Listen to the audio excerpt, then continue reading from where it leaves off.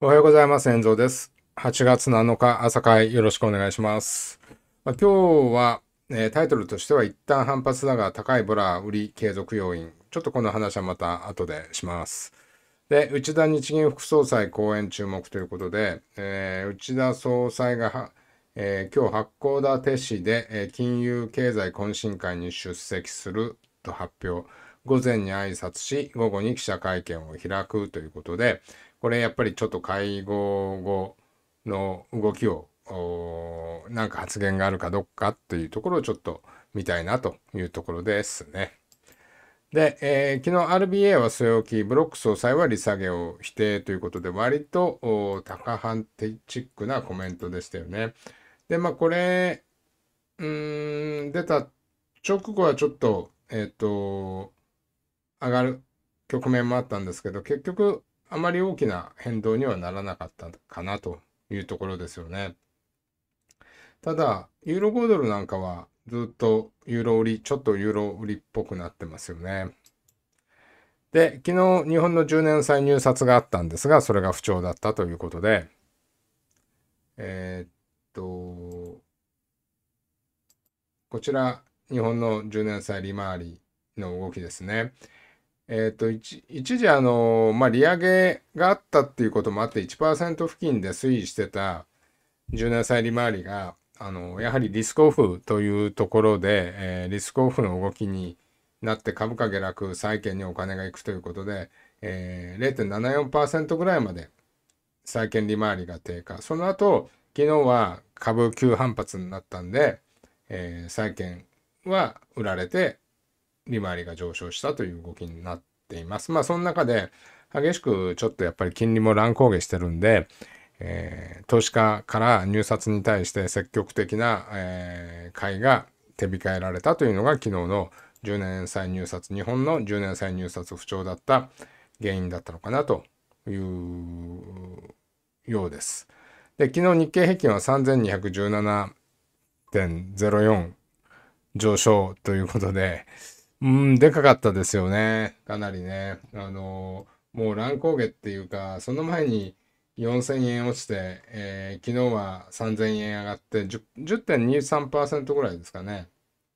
上がって、えー、っと、トピックスが9.3%、グロース250が10.06%ということで、それぞれ昨日は10%ぐらい上昇したというところになってます。まあ、あの、前日がね、ちょっと急低下したんで、まあ、それの反発が出たのかなということで、ここですよね、えっ、ー、と、一昨日、一時3万、これ先物なんですが、3万380円かな、そこまで出て、それが、もうあの月曜日のと海海外市場ですでに、えー、3万3000円ぐらいまで戻していて、昨日さらに東京市場で、えー、3万4000円、3万5000円の手前まで行ったんですが、やっぱりここがちょっと重かったですよね。で、一旦下がって、今、えっ、ー、と、ニューヨークの先物の引けが3万3400円ぐらいということで、まあ、ちょっと一旦3万5千円っていうあのレジスタンスが見えたかな。ここはあの月曜日に急落する前のギャップのところですよね。ギャップは埋めたんだけどというところですよね。で、まあ、とりあえず3万5千円が今のとこレジスタンス。じゃあ下はということでどうですかね。昨日あたりは3万2千先物850円あたりが硬かったんですが、まあそこを抜けちゃうと3万1千、3万2千円ぐらいのところになりますかね。まあ、とりあえず3万3000円付近を今日は維持できるか、それを抜けて昨日の安値を維持できるか、さらにそ3万2000円ぐらいまでいくかどうかっていうところかと思います。一方で反発するようであれば、再度3万5000円が重たいかなと。まあ、そんな位置かな。で、昨日アメリカの貿易収支6月750億ドルから731億ドルに赤字は、えー減ったんですが、減ったんですが、もうほとんどこれもうアメリカ、ほとんどこう70年ぐらい、あの、1960年代ぐらいから赤字なんですよね、確か貿易って。えっ、と、ちょっとごめんなさい。正確にはわかんないんですけど、60年ぐらいずっと赤字が続いてるっていうところでもうほとんど影響ない。90 1990年代、80年代後半から90年代は貿易収支で為替動いたんですが、あまり、昨日でもこれが出た後ちょっとドル円なぜか落ちたんですけど、あまりそれは関係ないと思います。えー、っと、ここですかね。ここら辺ですかね。145円付近から144円付近までこう下落する局面があったんですけど、これあんまり貿易収支で売られたって感じでもなかったですね。えっ、ー、と、昨日ニューヨーク連銀が、えー、発表した第2四半期の家計債務が0.6%増えましたよということで、17.8兆ドルっていうことで、もうすごい数字ですよね。延滞率3.2%と。あんまり関係ないんですよ、これ。あの、関係ないっていうか、延滞率3.2%っていうのは、えっ、ー、と、そんなに、こう、なんていうのかな、全四半期から変わらず、あの、びっくりするような数字ではないということで、コロナ禍前が4.7%だったんですね、延滞率。ですから、それを考えるとコロナ禍前4.7なんで、あまり影響ないのかなということで、こう、こんな感じになってます。17.8兆ドルっていうことで、えっと、青い部分が住宅ローンですよね。で、赤い部分がその、その他というところで、まあ、2014年、やっぱり株価がこう、上昇することに伴って、えー、ずっとやっぱり債務が増えてるなーっていうところは分かりますよね。一旦やっぱりリーマンショックまでで一旦、リーマンショック前って6兆ドルぐらいしかなかったんですよね。だから今で言うと800兆円ぐらいですかね。えっ、ー、と、6兆ドルぐらいしかなかったのが、まああの、両方合わせると8兆ドルぐらいなんですが、だから1000兆円ぐらいですよね、その頃は。今はそれが2800兆円ですから、3倍ぐらいになってるわけですよね、アメリカの債務って。で、リーマンショックまでで一時、あの、12兆ドルぐらいまで行ったんですが、やっぱりリーマンショック後、その債務が減ってって、また2013年ぐらいから株価の恩恵もあって上昇してきたっていうところかなというふうに思います。で、え昨日、アメリカの方は3年債の入札があって、あのまあそれはまあまあ堅調だったねっていうところで、2年債利回りと10年債利回りともども昨日は上昇した30年債もですよね。まあ、これはやっぱり、えっ、と株価が上がったんで、えっ、と前日やっぱり金曜金曜日からリスクオフの、え、株売り債券買いだったのが少しやっぱり株が落ち着いたんでえー、反発してるというとこですよね。ただ、やっぱり10年債にしてもこの4%って完全に割れちゃってるんで、ここを戻すのはしんどいかな。まあ短期的にはですよね。でも、一番重要なのは4.2ぐらいだとは思うんですが、はい。まだ実際、利下げするまではわかんないですよね。0.5っていう説も出てますけど、なかなかね、それがどうなるかわかんないんで、今ニュージーランド発表されましたね。雇用統計が、雇用者数がプラス、雇用、労働コストが上昇、労働力率、まあこれ失業率は4.6に上昇、4.3から4.6に上昇なんですけど、えっ、ー、と予想よりは低かったということで、ニュージーランドどうですかね。あ、上がってますね。やっぱりこの雇用統計が、あの予想より良かったよというところなんですかね。やっぱりこの失業率か労働参加率の上昇なのか、まあ、労働参加率が上昇したから失業率が上昇してもあまり、あのー、悪影響ではないというところなのか、あとは雇用者数がもう純粋にえっ、と、0.4%増加してますよっていう、ここに反応したのか。まあ、いずれにしろ、雇用統計良かったんで、えー、0.59、あ、やっぱりピポットがこの0.59の47ぐらいでしたよね。ちょうどピポットのところで止まって、今、ピポットのレジスタンスの5980を抜けて上昇しているところなんで、次60の15ぐらいですかね。えー、週間ピポットもここありますので、60の1520ぐらいが、まずはレジスタンスになって、そこ抜けちゃうと60の50付近というところで、ニュージー円の方を見てみましょうか。ニュージー円もじわっと上昇してますよね。86円付近がサポートされて、これデイリーピポットが今日は86円の1号なんで、そこを抜けてきてるんで、次、レジスタンスが86円の9号あたりなんで、昨日の高値付近ですよね。うん。えー、っと、まあ、どうなるかというところです。ニュージーがちょっと雇用統計を受けて買われています。ダウ0.76%上昇、SP1.04% 上昇、ナス1.0%上昇、ソックスが1.06%、ビックスが27.71%ということで、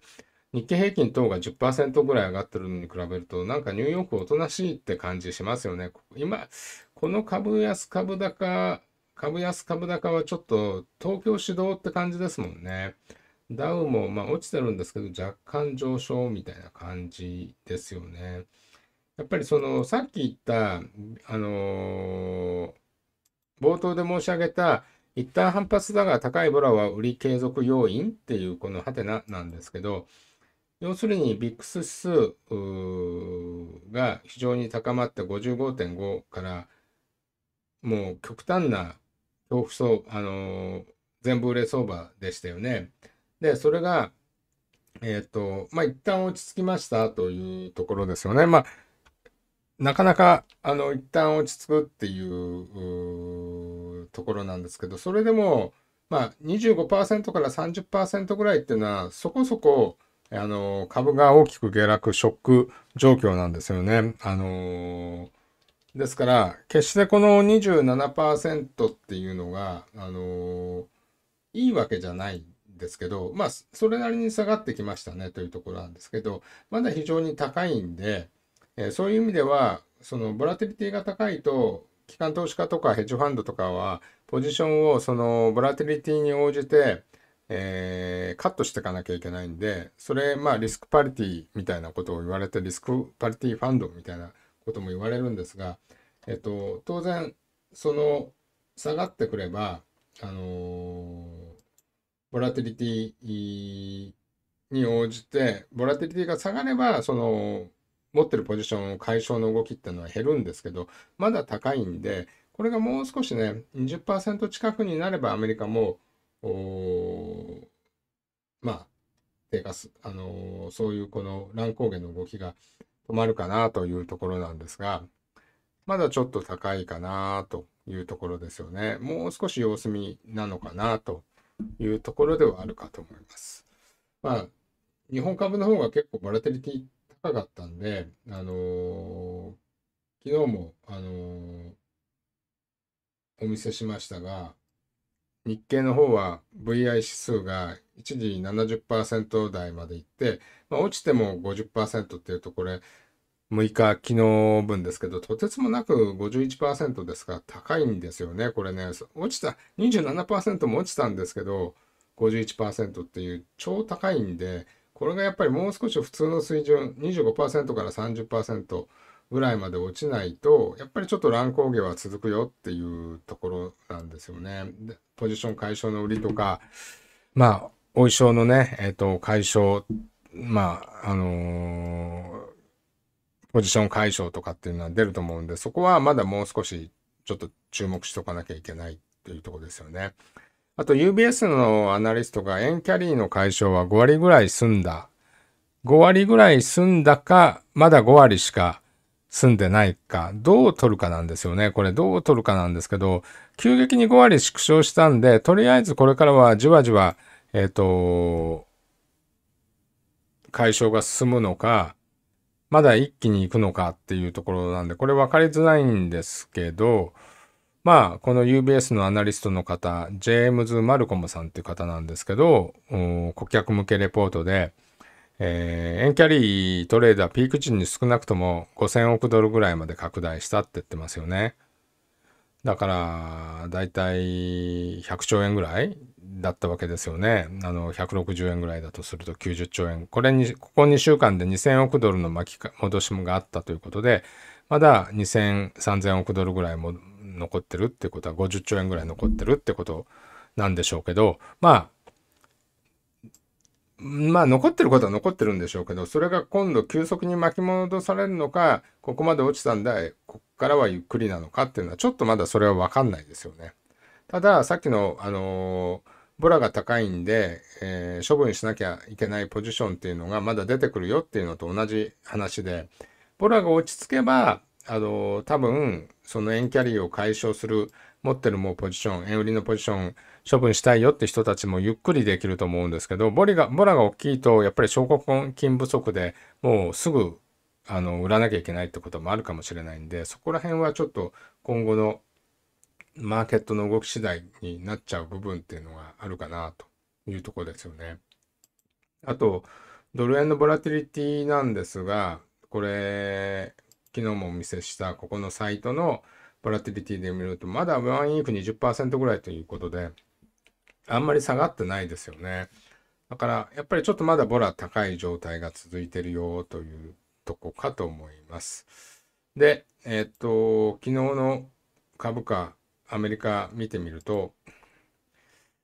はい。まあこんな感じで結構割とどれもこれも上がってて、まあちょっと一部アップルとか下がってますけど、まあまあ、あのー、上昇してたのかなというところですよね。一旦落ち着きが出たかなと。ウーバー、ウーバーが11%ぐらい上がってますよね。第2四半期の売上高と利益が市場予想を上回ったというとこみたいですね。あとは、うーん、まあ、キャタピラー重機メーカーですよね。ブルトーザーといえばキャタピラー。まあこれも3%高。第2四半期利益が予想を上回った。北米需要は鈍化してるもののっていうとこみたいですね。値上げなんかがあったみたいですね。うん。まあそのような感じ。ちょっと日本を見てみましょうか。日本は昨日は、まあこんな感じで、すごくトヨタなんか12%ぐらい上がった。ただ、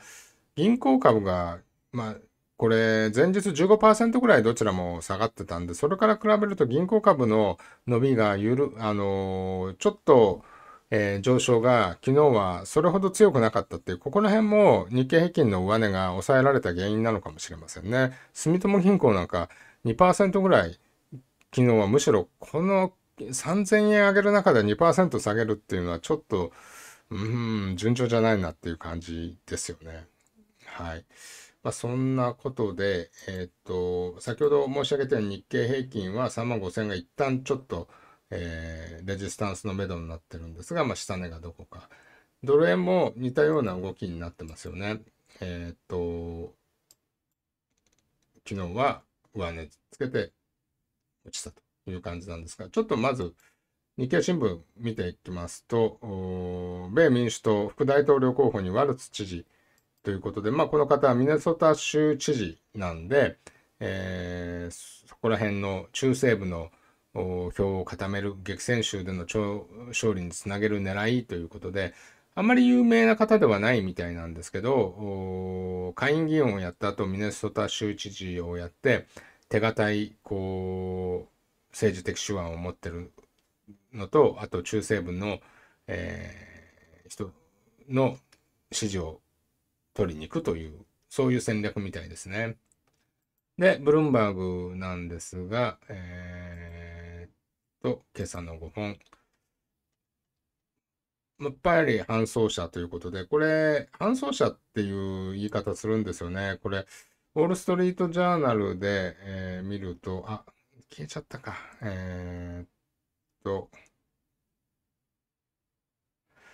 消えちゃった。あ、これだ。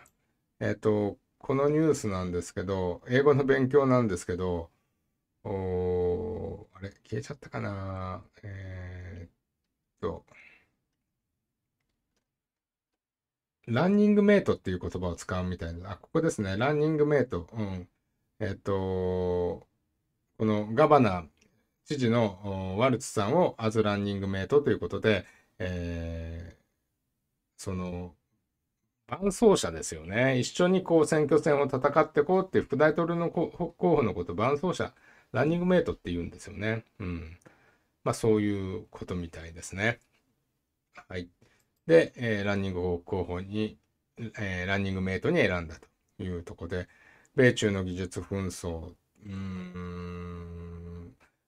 中国自動車のソフトウェアの米販売に制限を提案する計画だ、バイデンさんということですね。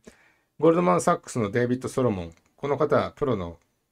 DJ みたいなんですけど、業績去年とか悪くて、業績回復するまでは DJ 活動は禁止しますみたいなことを言ってましたけど、えー、っと、リセッションに落ちることの予想あの、米経済がリセッションに陥ることはないとの予想をして、まあ9月まではな何もないだろうということを言ってますよね。うん。緊急利下げとかはないとかいうことです。あとはやっぱり中東問題心配ですよね。うん。はい。まあそこら辺のことです。あと、先ほど申し上げたように、ドル円なんですが、141円台まで上がったと、昨日136円の前半まで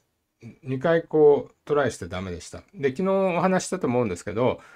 レジスタンスがデイリー、デイリーのレジスタンスが60なんで、146円の中盤が、まあ短期的なレジスタンスですよねってお話はしたかと思うんですが、まあ短期的になるか、これがちょっと安値からの反発で、一旦ここでおしまいになってしまうのかっていうとこですよね。まずは、それを調べるためには、まあ、昨日はあのデイリーピポットの144円の10あたりがサポートされたんですが、今のところ今そこがサポートされています。ただ、今日のデイリーピポットが144円の75なんで、今そこを抜けきれていません。ここを抜けきれれば、もう一度145円の90が、えー、デイリーのレジスタンス位置なんで、そこら辺ぐらいまでの上昇があるのかなと。やっぱり一旦この146円の50から147円が、一旦天井を見たっぽいですよね。そうすると今日はこのデイリーピポット抜けないと下落ちる可能性もあるんで、まあ、今日株価がどうなるか、ドル円がどうなるか、また昨日と一緒に上を目指すのか、株も上もね、3万4000円でもう一度やるのかどうかっていうところをちょっと見極めたいかなと。上値が重くなっちゃうと株もドル円も、あの、一旦昨日の高値があの短期の高値になって少しちょっと下をまた目指すかも。あの、まあ、ここの月曜の底は抜けるとは思わないんですけど、あの、一旦ちょっと下攻めになるのかどうか、ちょっとそこを見極めたいなという、今日はそんなイメージを持っていますと。いうことで、この、あのー、ピポット、えー、マルチタイムのピポットなんですが、JFX さんの、えー、トレビューで見れますので、もしご興味あれば、えー、概要欄から JFX さんの講座開けていただけると無料でプレゼントさせていただきます。あと、より、あのー、踏み込んだ情報に関しては、えー、サロンやってますので、そちらも概要欄の方からもしご興味あれば見てみてください。ということで、この動画良ければいいねボタンとチャンネル登録よろしくお願いします。今日ちょっと天気悪いみたいなんですけどね。皆さんお仕事頑張っていってらっしゃい。